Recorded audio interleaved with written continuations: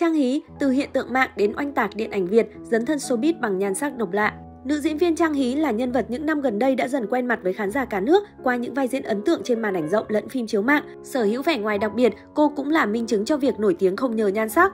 Trang Hí tên thật Lê Ngọc Minh Trang, sinh năm 1997 tại thành phố Hồ Chí Minh. Năm 2014, cô trở thành hiện tượng mạng khi còn là học sinh trung học phổ thông. Sau khi tung bản cover ca khúc Xin anh đừng, cô nhanh chóng gây được chú ý nhờ phong cách độc lạ, Nối tiếp thành công này, nữ sinh 9X khi ấy liên tục cho ra đời nhiều bài hát khác với phong cách dí dỏm, mang lại tiếng cười cho người xem. Chất giọng pha giữa Bắc và Nam của Trang Hí đã trở thành thương hiệu riêng qua loạt bản cover nổi bật khác như Bà bán bánh mì cần lưu ý, Cho Trang một vé về tuổi thơ, Yêu là tha thu. Đặc biệt hơn, clip cover Chúc bé ngủ ngon, phiên bản hài hước khiến Trang Hí được nhiều người yêu thích hơn và được fan lập hẳn nhiều fanpage để ủng hộ.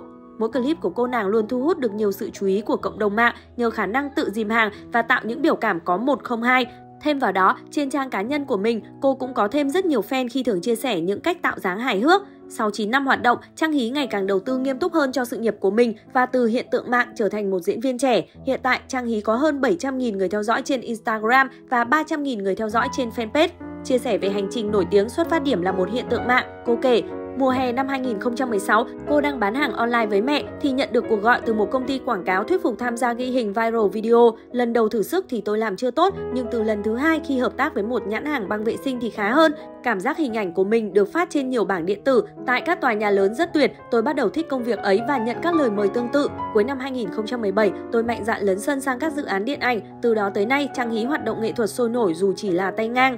Chăm chỉ chạy sâu và đóng quảng cáo, Trang Hí cho biết thu nhập của mình hiện tại ở mức vừa phải, đủ để thuê một căn phòng xinh xắn, thỉnh thoảng đi du lịch, ăn uống và mua sắm. Tôi sống vô tư, bình thường như mọi cô gái khác, lâu lâu cũng gom được chút tiền gửi tiết kiệm. Tôi không có khát khao làm giàu, chỉ cần bản thân không bị chuyện tiền bạc làm phiền não là được. Sau 3 năm làm việc, ngoài khoản nhỏ dành dụm thì tôi chưa mua sắm được tài sản giá trị gì cả. Nhiều khi thấy các bạn khác nhỏ tuổi hơn mà sắm nhà, tậu xe, tôi hơi chới với. Nhưng tôi may mắn khi gia đình không tạo áp lực và bản thân biết hài lòng với cuộc sống hiện tại. Tôi giàu về tinh thần thôi, còn vật chất đành nhờ chồng tương lai lo vậy. Chí Nick chia sẻ.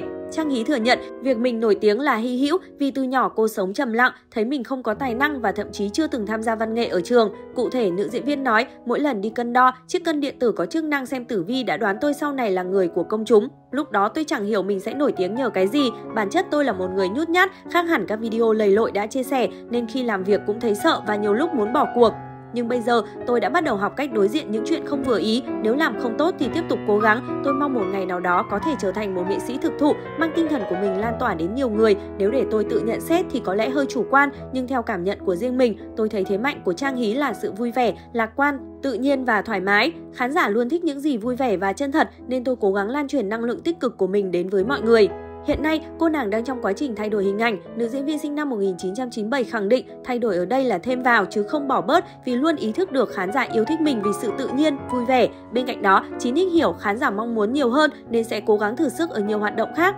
Thực ra tôi không thể thay đổi bản chất của mình, tình yêu thương của khán giả giúp tôi luôn giữ được sự lạc quan để mãi nghịch ngợm nhưng biết nghiêm túc trong lúc làm việc. Tóm lại, dù hình tượng nào thì những giá trị tôi mang lại cho khán giả mới thực sự quan trọng, nữ diễn viên cho hay. Ngoài cover bài hát, Trang Hí được nhiều nghệ sĩ như Đức Phúc, Ái Phương, Phạm Quỳnh Anh, Amy yêu ái chọn làm khách mời trong các sản phẩm âm nhạc. Ngoài ra, cô còn có cơ hội tham gia các phim điện ảnh như Em gái mưa, Cà chớn, Anh đừng đi, Hồn papa, Ra con gái, Gái già lắm chiêu năm. Nói về những bước tiến mới trong sự nghiệp, cô nàng tâm sự, thực sự mà nói cho đến hiện tại, dù tham gia một số phim điện ảnh và góp mặt trong nhiều chương trình giải trí, tôi vẫn không cảm thấy bản thân mình làm được gì to tát. Hành trình ấy cũng đơn giản, tôi chỉ đón nhận mà thôi. Trước đây tôi rất hiền, ít nói và thậm chí ngại giao tiếp, nhưng lại có sở thích làm những video nhảm nhí để chia sẻ trên trang cá nhân. Nội dung những video ấy chẳng có gì, chủ yếu kể về những tình huống hài hước diễn ra quanh tôi hàng ngày. Có lẽ cách thể hiện của tôi hơi khùng nên mang lại tiếng cười cho người xem, từ đó tôi được cộng đồng mạng để ý đến. Giữa rất nhiều cô gái xinh đẹp trong showbiz, Trang Hí vẫn nổi bật và là cái tên có sức hút, nhận được nhiều lời mời. Tôi chạy show đều đặn, tuần nào cũng có lịch tham gia game show, quảng cáo, chụp hình và đi sự kiện. Khối lượng công việc vừa phải nên tôi vẫn có thời gian cho bản thân, làm các video hát hò gọi là mua vui cho khán giả. Trước đây, tôi chỉ tham gia đóng viral clip và tập trung vào các hoạt động trên mạng, nhưng hiện tại bắt đầu thử sức với các hoạt động giải trí chuyên nghiệp.